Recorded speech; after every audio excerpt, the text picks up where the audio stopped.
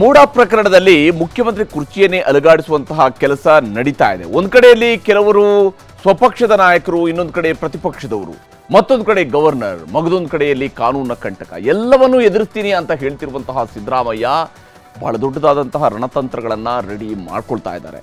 ಹಾಗಾದ್ರೆ ಸಿದ್ದರಾಮಯ್ಯನವರು ರೂಪಿಸಿರುವಂತಹ ರಣತಂತ್ರ ಎಂಥದ್ದು ಅನ್ನೋದನ್ನ ನಿಮಗೆ ತೋರಿಸ್ತೀನಿ.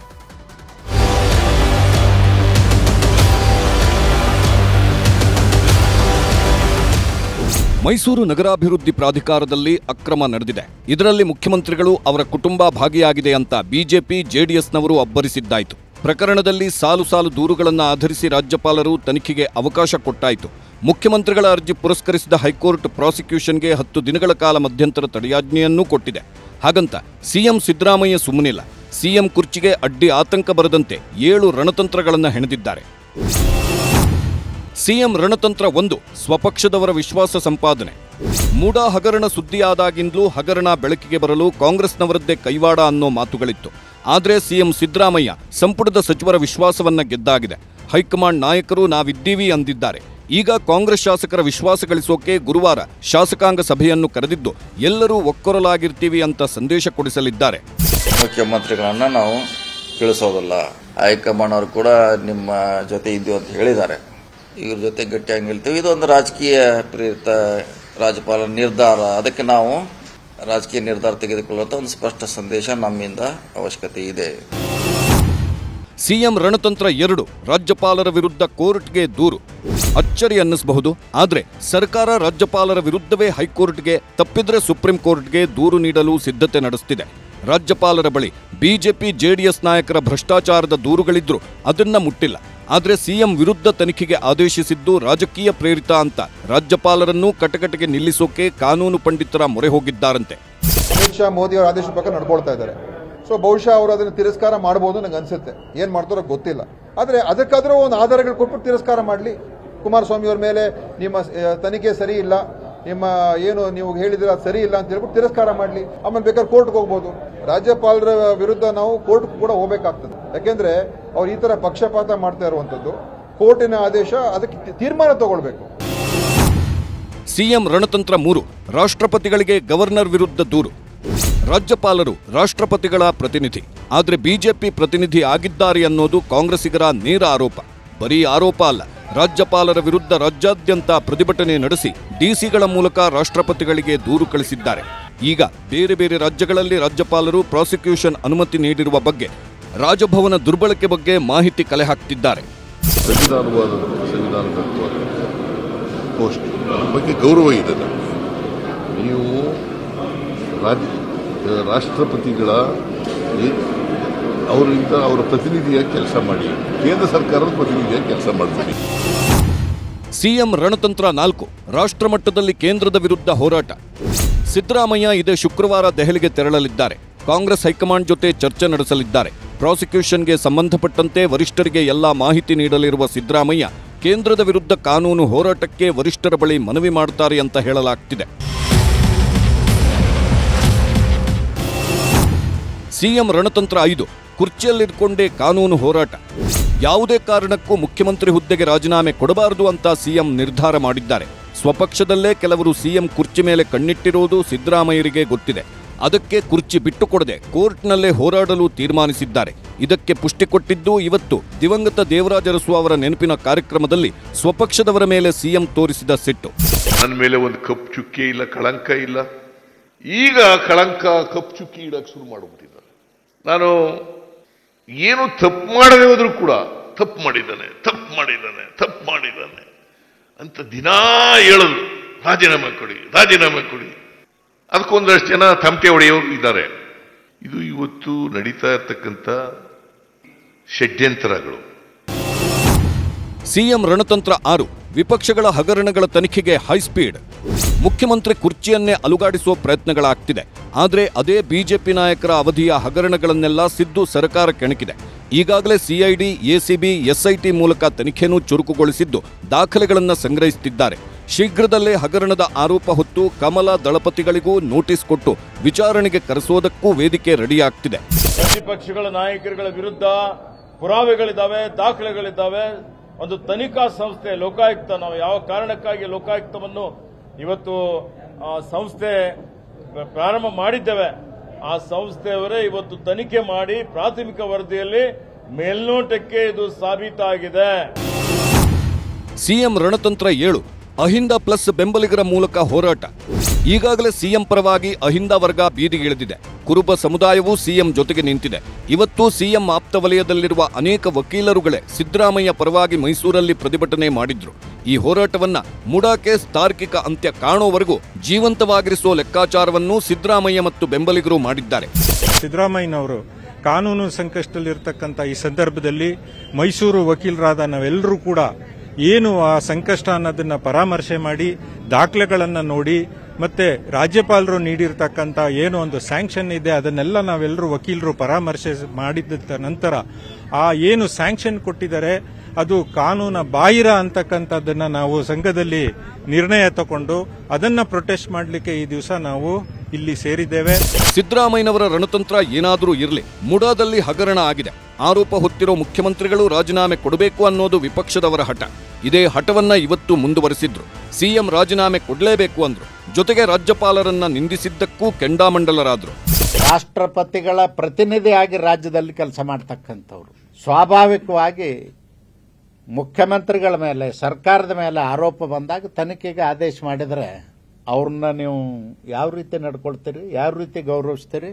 ಕಾಂಗ್ರೆಸ್ಗೆ ಏನಾದರೂ ಸಂಸ್ಕೃತಿ ಅನ್ನೋದು ಇದೇನಾ? ಸಾಮಾಜಿಕ ನ್ಯಾಯದ ಗಂಧನೇ ಗೊತ್ತಿರಲಾರ್ದಂಥವ್ರು ಕಾಂಗ್ರೆಸ್ನವ್ರು. ಚಪ್ಪಲಿಯಿಂದ ಅವ್ರ ಫೋಟೋ ಹೊಡಿತೀರಿ ಅವರು ಫೋಟೋ ಸುಡ್ತೀರಿ? ಅವಾಚ್ಯ ಶಬ್ದಗಳಿಂದ ಅವ್ರಿಗೆ ಅಪಮಾನ ಮಾಡ್ತೀರಿ? ತಿಪ್ಪೆ ತಿಪ್ಪೆ ಸಾರಿಸಿದ್ದಾರೆ ಈಗ. ಮೇಲೆ ಸಾರಿಸ್ಬಿಟ್ಟಿದ್ದಾರೆ ಅಷ್ಟೇ. ಆದರೆ ಹೊಗೆ ಹೊರಗಡೆಯಿಂದ ತಿಪ್ಪೆ ಮೇಲೆ ಈಗ ವಾಸನೆ ಬರಕ್ಕೆ ಶುರುವಾಗಿದೆ.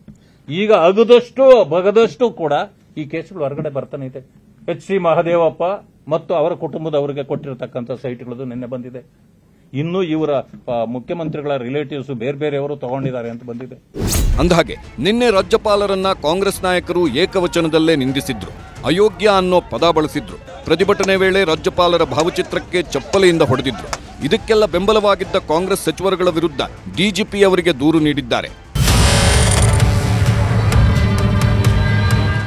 ಆಗಸ್ಟ್ ಇಪ್ಪತ್ತೊಂಬತ್ತರವರೆಗೆ ಹೈಕೋರ್ಟ್ ಸಿಎಂ ಸಿದ್ದರಾಮಯ್ಯ ಪ್ರಕರಣಕ್ಕೆ ಅಲ್ಪ ವಿರಾಮ ಹಾಕಿದೆ.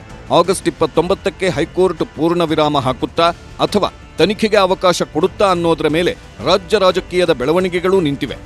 ಬ್ಯೂರೋ ರಿಪೋರ್ಟ್, ನ್ಯೂಸ್ ಏಟೀನ್ ಇನ್ನು ಮೂಡಾ ಪ್ರಕರಣದಲ್ಲಿ ಸಿಎಂ ವಿರುದ್ಧ ದೂರು ಬಂದಂತಹ ದಿನವೇ ರಾಜ್ಯಪಾಲರು ನೋಟಿಸ್ ಅನ್ನು ಕೊಟ್ಟಿದ್ರು. ಆದರೆ ಕುಮಾರಸ್ವಾಮಿ ಅವರಿಗೆ ಗಣಿ ಹಗರಣದಲ್ಲಿ ಚಾರ್ಜ್ ಶೀಟ್ ಹಾಕೋದಿಕ್ಕೆ ಮಾತ್ರ ಅನುಮತಿಯನ್ನು ಇದುವರೆಗೂ ಕೂಡ ಕೊಟ್ಟಿಲ್ಲ. ಲೋಕಾಯುಕ್ತ ಎಸ್ ಐ ಟಿ ಬರೆದಿರುವಂತಹ ಪತ್ರ ಇದು ಬರೋಬ್ಬರಿ ಹತ್ತು ತಿಂಗಳಾಗಿದೆ. ಆದರೆ ಇಷ್ಟಾದರೂ ಕೂಡ ಈಗ ಮತ್ತೆ ಕುಮಾರಸ್ವಾಮಿ ವಿರುದ್ಧ ಚಾರ್ಜ್ ಶೀಟ್ಗೆ ಅನುಮತಿ ಕೋರಿರುವಂತಹ ಲೋಕಾಯುಕ್ತ ಎಸ್ ಐ ಟಿ ಎರಡನೇ ಪತ್ರವನ್ನು ರಾಜ್ಯಪಾಲರಿಗೆ ಬರೆದಿದೆ, ಅನುಮತಿಯನ್ನು ಕೇಳಿದೆ. ಈಗ ರಾಜ್ಯಪಾಲರು ಏನು ಮಾಡ್ತಾರೆ ಅನ್ನುವಂತಹ ಕುತೂಹಲ ಹೆಚ್ಚಾಗಿದೆ.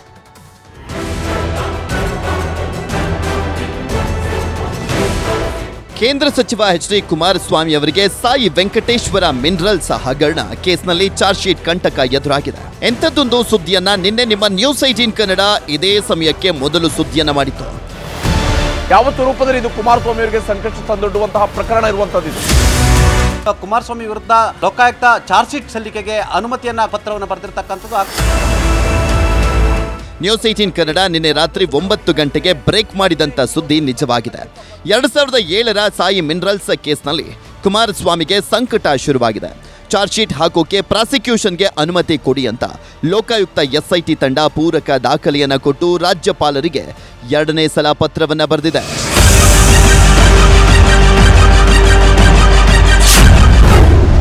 ಎರಡು ಸಾವಿರದ ಏಳರಲ್ಲಿ ಶ್ರೀ ಸಾಯಿ ವೆಂಕಟೇಶ್ವರ ಮಿನರಲ್ಸ್ಗೆ ಗಣಿ ಗುತ್ತಿಗೆ ನೀಡಲಾಗಿತ್ತು. ನಿಯಮ ಮೀರಿ ಐನೂರ ಐವತ್ತು ಎಕರೆ ಜಮೀನು ಮಂಜೂರು ಮಾಡಿದಂಥ ಆರೋಪ ಕೇಳಿಬಂತು ಎರಡು ಸಾವಿರದ ಹನ್ನೊಂದರಲ್ಲಿ ಲೋಕಾಯುಕ್ತರಾಗಿದ್ದಂಥ ಎನ್ ಸಂತೋಷ್ ಹೆಗ್ಡೆ ತನಿಖೆ ನಡೆಸಿ ವರದಿಯನ್ನು ರೆಡಿ ಮಾಡಿದರು. ಸಂತೋಷ್ ಹೆಗ್ಡೆ ವರದಿಯನ್ನು ಆಧರಿಸಿ ಲೋಕಾಯುಕ್ತ ಎಸ್ಐಟಿ ತನಿಖೆಯನ್ನು ನಡೆಸ್ತಾ ಇತ್ತು. ಇಪ್ಪತ್ತೊಂದು, ಹನ್ನೊಂದು, ಎರಡು ಸಾವಿರದ ಇಪ್ಪತ್ತ್ ಎಚ್ ಡಿ ಕೆ ವಿರುದ್ಧ ಚಾರ್ಜ್ ಶೀಟನ್ನು ಸಲ್ಲಿಸಲಿಕ್ಕೆ ನಿರ್ಧಾರ ಮಾಡಿದ್ದಂಥ ಲೋಕಾಯುಕ್ತ ವಿಶೇಷ ತನಿಖಾ ತಂಡ ಚಾರ್ಜ್ ಶೀಟ್ ಸಲ್ಲಿಕೆಗೆ ಅನುಮತಿಯನ್ನು ಕೇಳಿ ರಾಜ್ಯಪಾಲರಿಗೆ ಪತ್ರವನ್ನು ಬರೆದಿದ್ರು. ಆದರೆ ಎಂಟು ಎಂಟು ಎರಡು ಸಾವಿರದ ಇಪ್ಪತ್ನಾಲ್ಕಕ್ಕೆ ಎಚ್ ಡಿ ಕೆ ವಿರುದ್ಧದ ಆರೋಪಕ್ಕೆ ಸ್ಪಷ್ಟನೆ ಕೇಳಿ ರಾಜ್ಯಪಾಲರು ವಿವರಣೆಯನ್ನ ಕೇಳಿದರು. ಈಗ ರಾಜ್ಯಪಾಲರು ಕೇಳಿದ್ದಂಥ ಸ್ಪಷ್ಟನೆಗೆ ವಿವರಣೆ ನೀಡಿರುವಂಥ Lokayukta SIT H D K ವಿರುದ್ಧ ಆರೋಪ ಪಟ್ಟಿ ಸಲ್ಲಿಸಲಿಕ್ಕೆ ಅನುಮತಿ ನೀಡಲಿಕ್ಕೆ ಎರಡನೇ ಮನವಿಯನ್ನು ಸಲ್ಲಿಸಿದ್ದಾರೆ. ಮೋಡಾ ಪ್ರಕರಣದಲ್ಲಿ ದೂರು ಬಂದ ಒಂದು ದಿನಕ್ಕೆ ಪ್ರಾಸಿಕ್ಯೂಷನ್ಗೆ ಗವರ್ನರ್ ಅನುಮತಿಸಿದ್ರು. ಆದರೆ ಕುಮಾರಸ್ವಾಮಿ ಅವರ ಮೇಲೆ ಚಾರ್ಜ್ ಶೀಟ್ ಹಾಕಲಿಕ್ಕೆ ಪತ್ರ ಬರೆದು, ಹತ್ತು ತಿಂಗಳಾದರೂ ಕೂಡ ರಾಜ್ಯಪಾಲರು ಅನುಮತಿಸಿಲ್ಲ ಯಾಕೆ ಅನ್ನೋದು ಸಿಎಂ ಸೇರಿದಂತೆ ಕಾಂಗ್ರೆಸ್ನವರ ನೇರ ಪ್ರಶ್ನೆಯಾಗಿದೆ. ಶ್ರೀ ಸಾಯಿ ವೆಂಕಟೇಶ, ವೆಂಕಟೇಶ್ವರ ಇಪ್ಪತ್ತ್ಮೂರು ಹನ್ನೊಂದು, ಎರಡು ಸಾವಿರದ ಇಪ್ಪತ್ತ್ಮೂರರಲ್ಲೇ ಲೋಕಾಯುಕ್ತವರು ಪರ್ಮಿಷನ್ ಕೊಡಿ ಅಂತ ರಾಜ್ಯಪಾಲರು ಮಾಡಿದ್ದಾರೆ ಆದರೆ ಇವತ್ತಿನವರೆಗೆ ಕೊಟ್ಟಿಲ್ಲ ಮತ್ತೆ ಕೇಳಿದ್ದಾರೆ. ಕೆಲವೊಮ್ಮೆ ರಾಜಕೀಯದಲ್ಲಿ ಯೋಗ್ಯತೆ ಬೇಕಾಗಲ್ಲ ಯೋಗ ಬೇಕಾಗಿ ಎರಡು ಸಂಸದರಿದ್ದು ಕೇಂದ್ರದಲ್ಲಿ ಸಚಿವರಾಗಿದ್ದಾರೆ ಅದು ಯೋಗ. ಅವರ ಯೋಗ. ಅಧಿಕಾರ ಸಿಕ್ಕಿದೆ. ಜನರ ಸೇವೆ ಮಾಡಿ ಇಂಥದ್ದನ್ನೆಲ್ಲ ಸಮಸ್ಯೆಯನ್ನು ಬಗೆಹರಿಸಿ ಪುಣ್ಯ ಕಟ್ಕೊಳ್ಳಿ ಅಂತ ನಾನು ಪ್ರಾರ್ಥನೆ ಮಾಡ್ತೀನಿ. ಒಬ್ಬ ಚಾರ್ಜ್ ಶೀಟ್ ಇರೋರು ಮಂತ್ರಿಯಾಗಿ ಮುಂದುವರಿಬೋದಾ? ನೀವು ಏನೂ ಇಲ್ಲದೆ ಯಾರೋ ಒಬ್ಬ ಹೋಗೋ ಬರೋರ ಹತ್ರ ಕಂಪ್ಲೇಂಟ್ ತಗೊಂಡು ಮುಖ್ಯಮಂತ್ರಿಗಳು ರಾಜೀನಾಮೆ ಕೊಡಿ ಅಂತ ಹೇಳ್ತಾ ಇದೀರಲ್ಲ ನಿಮ್ಮ ಮೇಲೆ ಚಾರ್ಜ್ ಶೀಟ್ ಇದೆಯಲ್ಲ? ಚಾರ್ಜ್ ಶೀಟ್ ಇದೆಯಲ್ಲ? ಚಾರ್ಜ್ ಶೀಟ್ ಇಟ್ಕೊಂಡು ಇರ್ಬೋದಾ ಇಲ್ಲಿ ಹೇಳಿ ನಾನು ನೋಡೋಣ. ಚಾರ್ಜ್ ಶೀಟ್ ಇರೋ ಒಬ್ರು ಮಂತ್ರಿಗಳಾಗಿರ್ಬೋದಾ? ಇದು ಪ್ರಶ್ನೆ ಜನರ ಮುಂದೆ ಇರೋದು. ಕುಮಾರಸ್ವಾಮಿ ಶಶಿಕಲಾ ಜೊಲ್ಲೆ ನಿರಾಣಿ ಜನಾರ್ದನ್ ರೆಡ್ಡಿ ಹೆಸರನ್ನ ಒಂದು ವಾರದಿಂದಲೂ ಕೂಡ ಸಿಎಂ ಸಿದ್ದರಾಮಯ್ಯ ಪ್ರಸ್ತಾಪ ಮಾಡ್ತಾನೆ ಇದ್ದಾರೆ. ಆದರೆ ಚಾರ್ಜ್ ಶೀಟ್ ಸಲ್ಲಿಸೋಕೆ ರಾಜ್ಯಪಾಲರು ಅನುಮತಿ ಕೊಟ್ಟಿಲ್ಲ. ಈಗ ಎರಡನೇ ಪತ್ರಕ್ಕೆ ಅನುಮತಿ ಕೊಡ್ತಾರಾ ಇಲ್ವಾ ಗೊತ್ತಿಲ್ಲ. ಹಾಗಿದ್ರೆ ರಾಜ್ಯಪಾಲರು ಏನ್ ಮಾಡ್ತಾರೆ? ಅವರ ಮುಂದಿರುವಂತ ಆಯ್ಕೆಗಳೇನು ಅಂತ ನೋಡೋಣ. H D K case supreme ಕೋರ್ಟ್ನಲ್ಲಿ ವಿಚಾರಣೆ ಹಂತದಲ್ಲಿದೆ. ಲೋಕಾಯುಕ್ತ ಎಸ್ಐಟಿಗೆ ವರದಿ ಸಲ್ಲಿಸಲಿಕ್ಕೆ ಸುಪ್ರೀಂ ಕೋರ್ಟ್ ಹೇಳಿಕೆ. ಕಾನೂನು ಅಭಿಪ್ರಾಯ ಪಡಲಿಕ್ಕೆ ರಾಜ್ಯಪಾಲರಿಗೆ ಟೈಮ್ ಇದೆ. ಚಾರ್ಜ್ ಶೀಟ್ ಸಲ್ಲಿಸಲಿಕ್ಕೆ ಒಪ್ಪಬಹುದು ಅಥವಾ ತಿರಸ್ಕರಿಸಬಹುದು. ಲೋಕಾಯುಕ್ತ ಎಸ್ಐಟಿಗೆ ಅನುಮತಿ ರಾಜ್ಯಪಾಲರ ವಿವೇಚನೆಗೆ ಬಿಟ್ಟಿದ್ದು. ಯಾವುದೇ ಕೇಸ್ ಕೊಟ್ಟಾಗ ಎಲ್ಲವನ್ನೂ ಪ್ರಾಸಿಕ್ಯೂಷನ್ ಕೊಡಬೇಕು ಅನ್ನೋದು ಇದಲ್ಲ. ಹಾ, ಕೊಟ್ಟಿದ್ರೆ ಅದರ ಅವಲೋಕನ ಮಾಡಿ ಅದರಲ್ಲಿ ಕೊಡಬೇಕು ಅನ್ನೋದು ಏನಾದರೂ ಇದ್ರೆ ಅದರಲ್ಲಿ ಸೂಕ್ತ ಅನಿಸಿದ್ರೆ ಕೊಡ್ತಾರೆ. ಗೌರವಾನ್ವಿತ ರಾಜ್ಯಪಾಲರದ ಅವ್ರದೇ ಆದಂಥ ಲೀಗಲ್ ವಿಂಗ್ ಇದೆ. ಚರ್ಚೆಗಳು ಮಾಡ್ತಾರೆ. ಎತ್ತರ ಅಷ್ಟು ಎತ್ತರಕ್ಕೆ ಸಂಬಂಧಪಟ್ಟಂಥ ವಿಚಾರ ನಾನು ಒಬ್ಬ ಅದಕ್ಕೂ ಪುನಃ ಪ್ರತಿಕ್ರಿಯೆ ಭ್ರಷ್ಟಾಚಾರ ನಿಯಂತ್ರಣ ತಿದ್ದುಪಡಿ ಕಾಯ್ದೆ ಎರಡ್ ಸಾವಿರದ ಹದಿನೆಂಟರ ಪ್ರಕಾರ ರಾಜ್ಯಪಾಲರ ಅನುಮತಿ ಬೇಕು. ಕಾಯ್ದೆ ತಿದ್ದುಪಡಿ ಬಳಿಕ ಸಕ್ಷಮ ಪ್ರಾಧಿಕಾರದ ಅನುಮತಿ ಅಗತ್ಯ. ಈ ಕಾರಣಕ್ಕಾಗಿಯೇ ರಾಜ್ಯಪಾಲರಿಗೆ ಪ್ರಸ್ತಾಪವನ್ನ ಸಲ್ಲಿಸಿದ್ದಾರೆ. ಸಿಎಂ ಮೋಡಾ ಕೇಸ್ನಲ್ಲಿ ಒಂದೇ ದಿನದಲ್ಲಿ ನೋಟಿಸ್ ಕೊಟ್ಟಿದ್ದಂತ ಗವರ್ನರ್ ಸಾಹೇಬರು ಎಚ್ ಡಿ ಕುಮಾರಸ್ವಾಮಿ ಪ್ರಕರಣದಲ್ಲಿ ಏನು ಮಾಡ್ತಾರೆ ಅನ್ನೋದು ಸದ್ಯಕ್ಕಿರುವಂತ ಕುತೂಹಲ. ಬ್ಯೂ ರಿಪೋರ್ಟ್, ನ್ಯೂಸ್ ಏಟೀನ್ ಕೋಲ್ಕತ್ತಾದಲ್ಲಿ ಟ್ರೈನಿ ವೈದ್ಯೆಯ ಮೇಲೆ ನಡೆದಂತಹ ಅತ್ಯಾಚಾರ ಮತ್ತು ಕೊಲೆ ಇಡೀ ದೇಶವನ್ನೇ ಬಡಿದೆಬ್ಬಿಸಿದೆ. ಇಡೀ ದೇಶದ ಉದ್ದಗಲಿಗೂ ಕೂಡ ಹೋರಾಟಗಳು ನಡೆದಿದ್ದಾವೆ, ಪ್ರತಿಭಟನೆಗಳು ನಡೆದಿದ್ದಾವೆ. ಹಾಗೆಯೇ ವೈದ್ಯರು ಆಕ್ರೋಶವನ್ನು ವ್ಯಕ್ತಪಡಿಸ್ತಾ ಇದ್ರು. ಈಗ ಸುಪ್ರೀಂ ಕೋರ್ಟ್ ವೈದ್ಯರ ರಕ್ಷಣೆಗೆ ರಾಷ್ಟ್ರೀಯ ಕಾರ್ಯಪಡೆಯನ್ನು ರಚಿಸಿದೆ.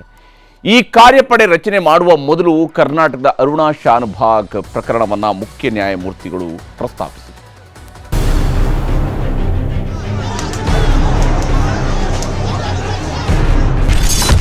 ಕೋಲ್ಕತ್ತಾ ಟ್ರೈನಿ ವೈದ್ಯೆ ಅತ್ಯಾಚಾರಕ್ಕೆ ಖಂಡನೆ. ಕರ್ನಾಟಕದ ಅರುಣಾ ಶಾನ್ಭಾಗ್ ಪ್ರಕರಣ ನೆನಪಿಸಿದ ಸಿಜೆಐ ಕೋಲ್ಕತ್ತಾದಲ್ಲಿ ಯುವ ವೈದ್ಯೆಯ ಅತ್ಯಾಚಾರ ಕೇಸ್ ಪ್ರಕರಣವನ್ನ ಸುಮೋಟೋ ಕೇಸ್ ಹಾಕೊಂಡು ಸುಪ್ರೀಂ ಕೋರ್ಟ್ ವಿಚಾರಣೆ ನಡೆಸಿದೆ ಇವತ್ತು ಸುಪ್ರೀಂ ಕೋರ್ಟ್ ತ್ರಿಸದಸ್ಯ ಪೀಠ ಕೋಲ್ಕತ್ತಾ ಯುವ ವೈದ್ಯೆ ಪ್ರಕರಣಕ್ಕೆ ಕಳವಳ ವ್ಯಕ್ತಪಡಿಸಿತು.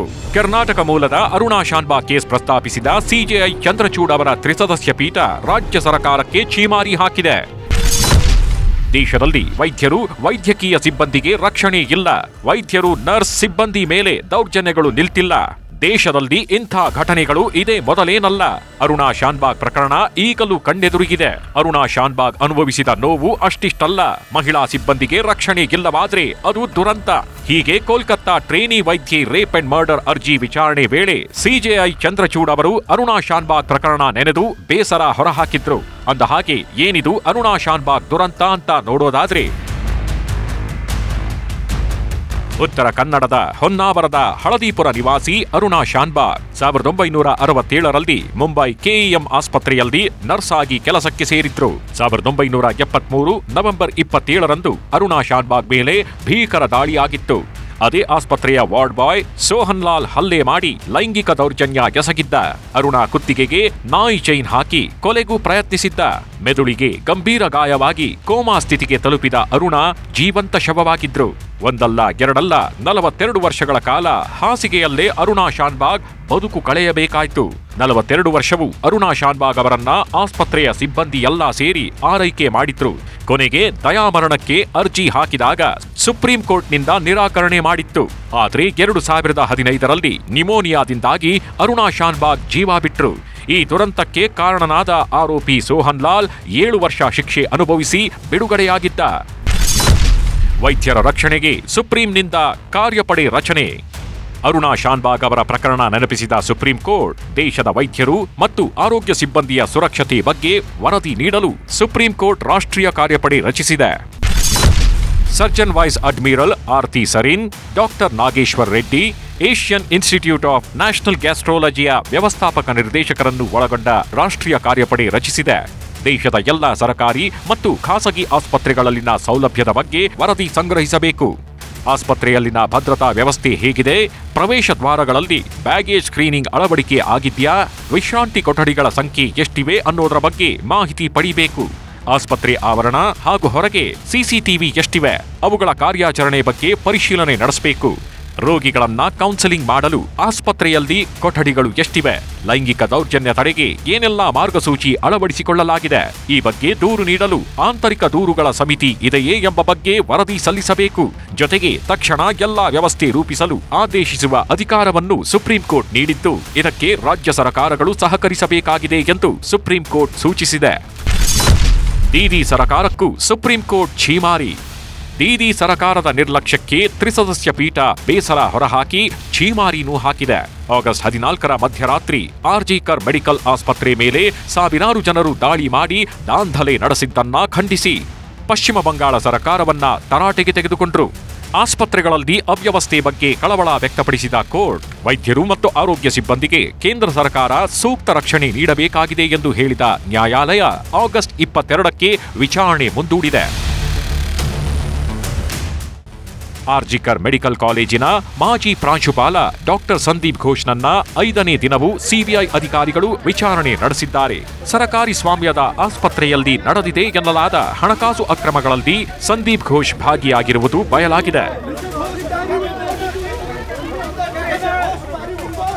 ಇನ್ನು ಪಶ್ಚಿಮ ಬಂಗಾಳದಲ್ಲಿ ಪ್ರತಿಭಟನೆಗಳಂತೂ ಕಡಿಮೆಯಾಗಿಲ್ಲ ಒಂದು ಕಡೆ ವೈದ್ಯರು, ಇನ್ನೊಂದು ಕಡೆ ಎಬಿವಿಪಿ ಕಾರ್ಯಕರ್ತರು ಮಳೆ ಮಧ್ಯೇನೆ ಪ್ರತಿಭಟಿಸಿದ್ರು. ಈ ವೇಳೆ ಲಾಠಿ ಪ್ರಹಾರಾನು ನಡೀತು.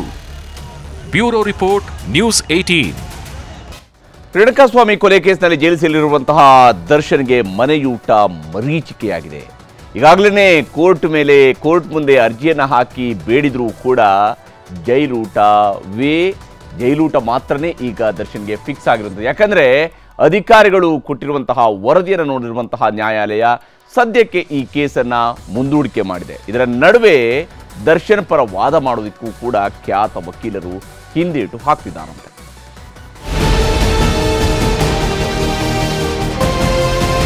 ಗ್ರಹಚಾರ ಕೆಟ್ಟಾಗ ದೇವರೂನು ಕೈ ಹಿಡಿಯಲ್ವಂತೆ. ಈ ಮಾತು ನೂರಕ್ಕೆ ನೂರು ಸತ್ಯ ಬಿಡಿ. ಯಾಕಂದ್ರೆ ನಟ ದರ್ಶನ್ ರ ಸದ್ಯದ ಪರಿಸ್ಥಿತಿ ನೋಡಿದ್ರೆ ಯಾವ ದೇವರು ಕೈ ಹಿಡಿತಿಲ್ಲ, ಯಾವ ಪ್ರಾರ್ಥನೆಯೂ ವರ್ಕೌಟ್ ಆಗ್ತಿಲ್ಲ. ದರ್ಶನ್ ಪತ್ನಿ ವಿಜಯಲಕ್ಷ್ಮಿ ಹತ್ತಾರು ದೇವಸ್ಥಾನ ಸುತ್ತಿ ಬಂದ್ರು. ಸಂಬಂಧಿಕರು ಸಹ ಇಲ್ಲ ಸಲ್ಲದ ದೇವರಿಗೆ ಹರಕೆಯನ್ನ ಕಟ್ಟಿಕೊಂಡ್ರು. ಆದ್ರೆ ಒಂದೇ ಒಂದು ತುತ್ತು ಮನೆಯೂಟವೂ ಸಿಕ್ತಿಲ್ಲ. ಇವತ್ತಾದ್ರೂ ಬಿರಿಯಾನಿ ಭಾಗ್ಯ ಸಿಗತ್ತಾ ಅಂತ ಕಾಯ್ತಿದ್ದ ದರ್ಶನ್ಗೆ ತಣ್ಣೀರೇ ಗತಿಯಾಗಿದೆ. ಸೆಪ್ಟೆಂಬರ್ ಐದರವರೆಗೆ ದಾಸನಿಗೆ ಜೈಲೂಟವೇ ಗತಿ. ಅನಾರೋಗ್ಯದ ನೆಪ ಹೇಳಿದ್ದ ನಟ ದರ್ಶನ್ ಹೈಕೋರ್ಟ್ ಅಂಗಳದಲ್ಲಿ ಮನೆಯೂಟಕ್ಕೆ ಮನವಿ ಮಾಡಿದ್ರು. ಹೀಗಾಗಿ ಜೈಲಾಧಿಕಾರಿಗಳು ವರದಿ ನೀಡುವಂತೆ ಕೋರ್ಟ್ ಸೂಚನೆ ನೀಡಿತ್ತು. ಇದರಂತೆ ಜೈಲಾಧಿಕಾರಿಗಳು ವರದಿ ನೀಡಿದ್ದಾರೆ. ಅಲ್ಲದೆ ದರ್ಶನ್ ಊಟದ ಅರ್ಜಿ ತಿರಸ್ಕರಿಸಿರೋ ಜೈಲಾಧಿಕಾರಿಗಳು ಇಲ್ಲಿನ ಊಟವೇ ಚೆನ್ನಾಗಿದೆ ಅಂತ ಕೋರ್ಟ್ಗೆ ಮಾಹಿತಿ ನೀಡಿದ್ದಾರೆ. ಹಾಗಾದ್ರೆ ಕೋರ್ಟ್ಗೆ ಡಿಜಿಪಿ ನೀಡಿದ ವರದಿಯಲ್ಲಿ ಏನೆಲ್ಲ ಅಂಶಗಳಿವೆ ಅಂತ ನೋಡೋದಾದ್ರೆ ಜೈಲೂಟ ಪೌಷ್ಟಿಕ ಆಹಾರವಲ್ಲವೆಂದು ಉಲ್ಲೇಖಿಸಿಲ್ಲ. ದರ್ಶನ್ಗೆ ಭುಜದ ಶಸ್ತ್ರಚಿಕಿತ್ಸೆ ಬಿಟ್ಟು ಬೇರೆ ಸಮಸ್ಯೆ ಉಲ್ಲೇಖಿಸಿಲ್ಲ. ಹದಿನೇಳು ಜುಲೈ ಎರಡು ಸಾವಿರದ ಇಪ್ಪತ್ನಾಲ್ಕರಂದು ದರ್ಶನ್ಗೆ ವೈರಲ್ ಫೀವರ್ ಕಾಣಿಸಿಕೊಂಡಿದ್ದರಿಂದ ಚಿಕಿತ್ಸೆ ನೀಡಲಾಗಿತ್ತು. ಅಲ್ಲದೆ ಜೈಲಿನಲ್ಲಿ ಬೆಡ್ ರೆಸ್ಟ್ ಜೊತೆಗೆ ಪೌಷ್ಟಿಕಾಹಾರವನ್ನು ನೀಡಲಾಗಿರುತ್ತೆ. ನಂತರ ಇಪ್ಪತ್ತೆರಡು ಜುಲೈ ಎರಡು ಸಾವಿರದ ಇಪ್ಪತ್ನಾಲ್ಕರಲ್ಲಿ ಬೆನ್ನು ನೋವು ಕಾಣಿಸಿಕೊಂಡಿತ್ತು. ಶಸ್ತ್ರಚಿಕಿತ್ಸೆ ಮಾಡಿರೋದ್ರಿಂದ ಈ ರೀತಿ ನೋವು ಸಹಜ ಅಂತ ವೈದ್ಯರೇ ಅಭಿಪ್ರಾಯ ವ್ಯಕ್ತಪಡಿಸಿದ್ರು. ಆದರೆ ವಿಶೇಷ ಸೌಲಭ್ಯ ಮನೆಯೂಟದ ಬಗ್ಗೆ ಶಿಫಾರಸು ಮಾಡಿಲ್ಲ. ಈಗಾಗಲೇ ಹತ್ತು ದಿನಗಳ ಕಾಲ ಮೊಟ್ಟೆ, ಹಾಲು, ಬ್ರೆಡ್ ನೀಡಿದ್ದೇವೆ. ಇಷ್ಟೆಲ್ಲಾ ವ್ಯವಸ್ಥೆ ಇರೋದ್ರಿಂದ ಮನೆ ಊಟದ ಅವಶ್ಯಕತೆ ಇಲ್ಲ ಕೊಲೆ ಆರೋಪಿಯ ಮನವಿಯನ್ನ ಪುರಸ್ಕರಿಸಬಾರದು ಅಂತ ದರ್ಶನ್ ಅರ್ಜಿ ತಿರಸ್ಕರಿಸಲು ಡಿಜಿಪಿ ವರದಿ ನೀಡಿದ್ದಾರೆ.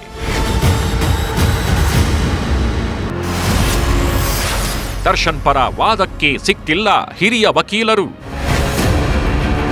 ಕಂಬಿ ಹಿಂದೆ ಸೇರಿರೋ ದರ್ಶನ್ಗೆ ಸಂಕಷ್ಟಗಳ ಸರಮಾಲೆಗೆ ಸುತ್ತಕೊಳ್ತಿವೆ.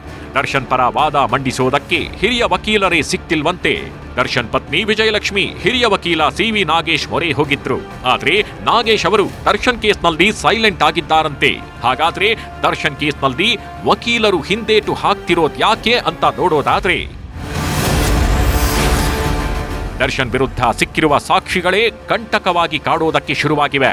ಅದರಲ್ಲಿ ತಾಂತ್ರಿಕ ಮತ್ತು ಮೆಡಿಕಲ್ ಸಾಕ್ಷ್ಯಗಳು ಸಿಕ್ಕಾಪಟ್ಟೆ ಸ್ಟ್ರಾಂಗ್ ಆಗಿವೆಯಂತೆ. ಪ್ರತಿ ಸಾಕ್ಷ್ಯದಲ್ಲೂ ದರ್ಶನ್ ಪಾತ್ರ ಇರೋದು ಬಹುತೇಕ ಖಾಯಂ ಆಗಿದೆ. ಹೀಗಾಗಿ ದರ್ಶನ್ ಕೇಸ್ ಕೈಗೆತ್ಕೊಂಡ್ರೆ ಹಿನ್ನಡೆ ಅನುಭವಿಸುವ ಆತಂಕ ಕಾಡ್ತಿದೆ. ಹೀಗಾಗಿಯೇ ವಕೀಲರು ಹಿಂದೇಟು ಹಾಕ್ತಿದ್ದಾರೆ. ಇದು ದರ್ಶನ್ಗೆ ಆರಂಭದಲ್ಲೇ ಬಿಗ್ ಶಾಕ್ ಕೊಟ್ಟಿದೆ. ಡಿ ಗ್ಯಾಂಗ್ಗೆ ಮೂರು ಎಫ್ಎಸ್ಎಲ್ ರಿಪೋರ್ಟ್ ಸಂಕಷ್ಟ.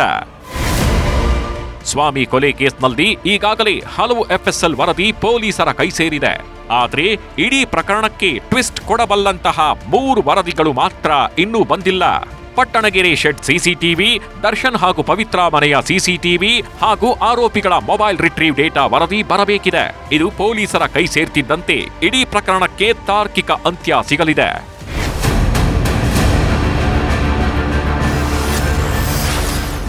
ನಾವು ಬಚಾವಾದ್ರೆ ಸಾಕು ಅಂತಿದೆ ಟಿ ಗ್ಯಾಂಗ್.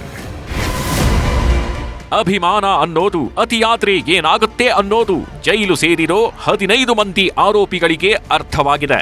ಹೀಗಾಗಿಯೇ ನಾವು ಬಚಾವಾದ್ರೆ ಸಾಕು ಅನ್ನೋ ಹಂತಕ್ಕೆ ಬಂದಿದ್ದಾರೆ. ಈಗಾಗಲೇ ಅನುಕುಮಾರ್ ಜಾಮೀನಿಗೆ ಅರ್ಜಿ ಸಲ್ಲಿಸಿದ್ದು, ಚಾರ್ಜ್ ಶೀಟ್ ಬಳಿಕ ಇನ್ನೂ ಹಲವರು ಬೇಲ್ಗೆ ಪ್ಲಾನ್ ಮಾಡ್ಕೊಂಡಿದ್ದಾರಂತೆ.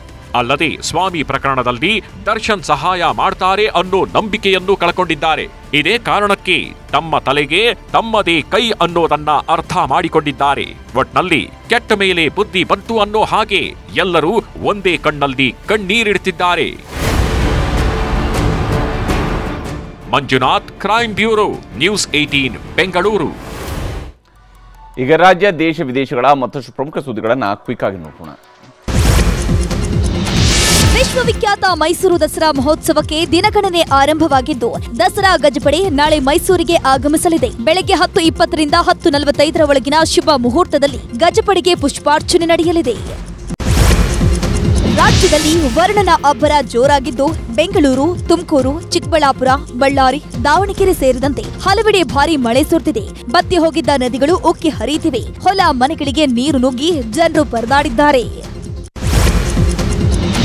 ಎಸ್ಟಿ ಮೀಸಲಾತಿ ಕುರಿತು ಸುಪ್ರೀಂ ಕೋರ್ಟ್ ತೀರ್ಪಿನ ವಿರುದ್ಧ ನಾಳೆ ಭಾರತ್ ಬಂದ್ಗೆ ಕರೆ ನೀಡಲಾಗಿದೆ. ಮೀಸಲಾತಿ ಬಚಾವೋ ಸಂಘರ್ಷ ಸಮಿತಿಯು ಬಂದ್ಗೆ ಕರೆ ಕೊಟ್ಟಿದ್ದು ಬ್ಯಾಂಕ್, ಶಾಲಾ ಕಾಲೇಜು, ಸಾರಿಗೆ ಯಾವುದೇ ಪ್ರಮುಖ ಸಂಘಟನೆಗಳು ಬೆಂಬಲ ನೀಡಿಲ್ಲ. ನಾಳೆಯಿಂದ ಪ್ರಧಾನಿ ಮೋದಿ ವಿದೇಶಿ ಪ್ರವಾಸವನ್ನ ಕೈಗೊಂಡಿದ್ದಾರೆ. ಬುಧವಾರ, ಗುರುವಾರ ಪೋಲೆಂಡ್ಗೆ, ಶುಕ್ರವಾರ ಉಕ್ರೇನ್ಗೆ ತೆರಳಲಿದ್ದಾರೆ. ನಲವತ್ತೈದು ವರ್ಷಗಳ ಬಳಿಕ ಭಾರತದ ಪ್ರಧಾನಿಯೊಬ್ಬರು ಪೋಲೆಂಡ್ಗೆ ಹೋಗ್ತಿರೋದು ಇದೇ ಮೊದಲು. ಎಐಸಿಸಿ ಅಧ್ಯಕ್ಷ ಮಲ್ಲಿಕಾರ್ಜುನ ಖರ್ಗೆ ಮತ್ತು ರಾಹುಲ್ ಗಾಂಧಿ ಅವರು ನಾಳೆ ನಾಡಿದ್ದು ಜಮ್ಮು ಕಾಶ್ಮೀರಕ್ಕೆ ಭೇಟಿ ನೀಡುತ್ತಿದ್ದಾರೆ. ವಿಧಾನಸಭೆ ಚುನಾವಣೆಯ ಸಿದ್ಧತೆಯ ಕುರಿತು ಪರಿಶೀಲನೆ ನಡೆಸಲಿದ್ದಾರೆ. ಲ್ಯಾಟರಲ್ ಎಂಟ್ರಿ ಮೂಲಕ ವಿವಿಧ ಹುದ್ದೆಗಳ ನೇಮಕಾತಿಗೆ ಲೋಕಸೇವಾ ಆಯೋಗ ಜಾಹೀರಾತನ್ನು ಕೊಟ್ಟಿತ್ತು. ಇದಕ್ಕೆ ವಿರೋಧ ಹೆಚ್ಚಾಗ್ತಿದ್ದಂತೆ ಪ್ರಧಾನಿ ಮೋದಿ ಮಧ್ಯಪ್ರವೇಶಿಸಿದ್ದು ಆದೇಶವನ್ನ ಹಿಂಪಡೆದಿದೆ. ರಕ್ಷಾ ಬಂಧನದ ಶುಭಾಶಯದ ಪೋಸ್ಟ್ ಮಾಡಿ ರಾಜ್ಯಸಭೆ ಸದಸ್ಯೆ ಸುಧಾಮೂರ್ತಿ ವಿವಾದಕ್ಕೀಡಾಗಿದ್ದಾರೆ. ಮೊಘಲ್ ಚಕ್ರವರ್ತಿಗಳ ಆಡಳಿತದಲ್ಲಿ ಸಹಾಯವನ್ನ ಕೋರಿ ಹುಮಾಯೂನಿಗೆ ರಾಣಿ ಕರ್ಣಾವತಿ ರಾಖಿ ದಾರವನ್ನ ಕಳಿಸಿದ್ರು. ಅವತ್ತಿನಿಂದ ರಕ್ಷಾ ಬಂಧನ ಶುರುವಾಯಿತು ಅಂದಿರುವ ಸುಧಾಮೂರ್ತಿ ವಿರುದ್ಧ ಸೋಷಿಯಲ್ ಮೀಡಿಯಾದಲ್ಲಿ ಅಸಮಾಧಾನ ವ್ಯಕ್ತವಾಗಿದೆ.